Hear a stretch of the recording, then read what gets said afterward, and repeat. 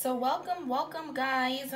This is one of my most requested recipes. I never got a chance to upload the video, so here it is. I'm gonna show you guys how I make my creamy garlic mashed potatoes.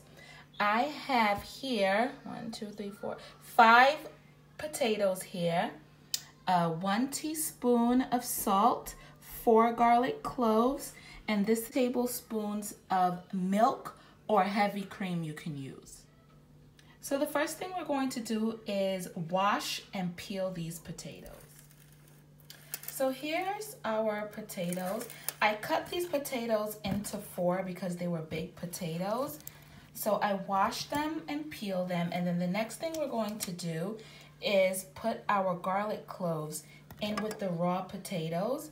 And we are going to put our one teaspoon of salt.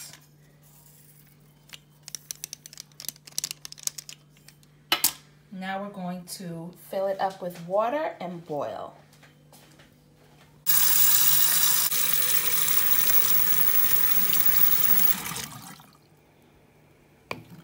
So now that these are on the fire, we are just going to boil them until all of the potatoes are soft. And that should take approximately 30 to 40 minutes.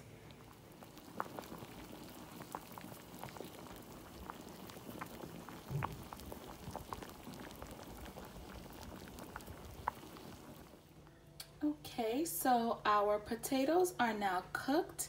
They're nice and soft. And what I'm going to do is just remove these garlic cloves because we no longer need them. And it's just time to get straight to the business. So here we have in here a half a cup of butter as well as our potatoes. And we're just gonna start to mash it with a fork and slowly add some of the milk or cream that we set aside, okay?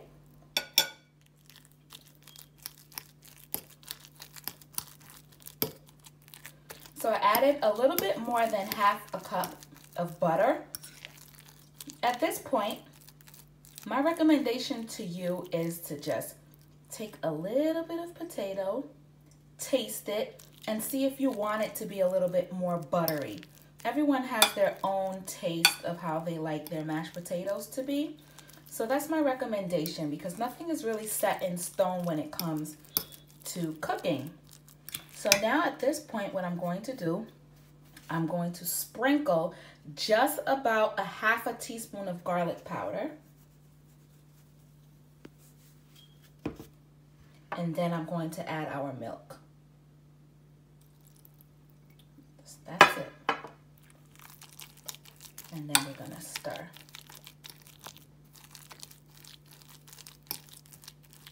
See how creamy it's starting to get? Look how creamy it is. And you can literally smell the garlic.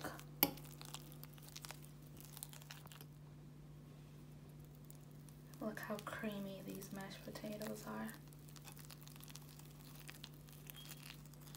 See how nice and creamy.